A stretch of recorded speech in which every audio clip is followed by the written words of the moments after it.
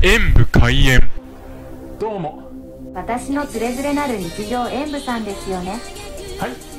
そのいうわけで本日は。ファミリーマートの日本橋。カラフルダスなんて読むんだこれ。うーん読めない。黒蜜監修。黒蜜ほうじ茶プリンを食べたいと思います。どうやら和風プリンみたいです。別添えってことはこの中に入ってるんでしょうね。どんな感じなんだろう。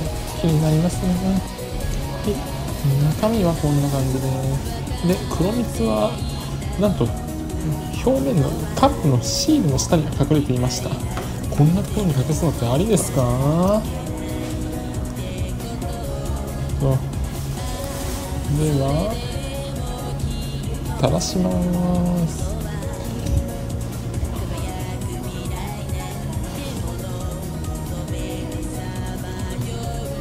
うわー見せにくい見せにくい。うまくうまくかかりましたね。ではちょっと薄く伸ばしていただきます。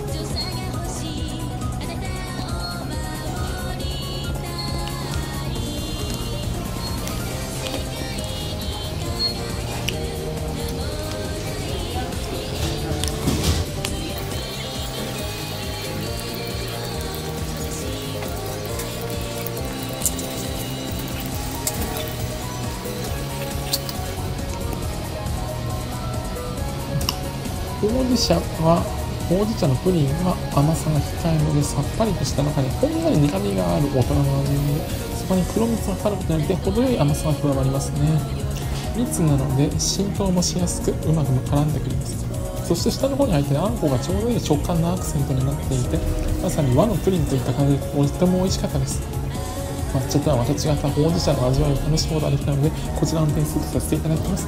ご視聴ありがとうございました。コメントしていただけると嬉しいです便利ですね。こちらパソコンおよびスマートフォンのアプリの方はクリックをお願いします。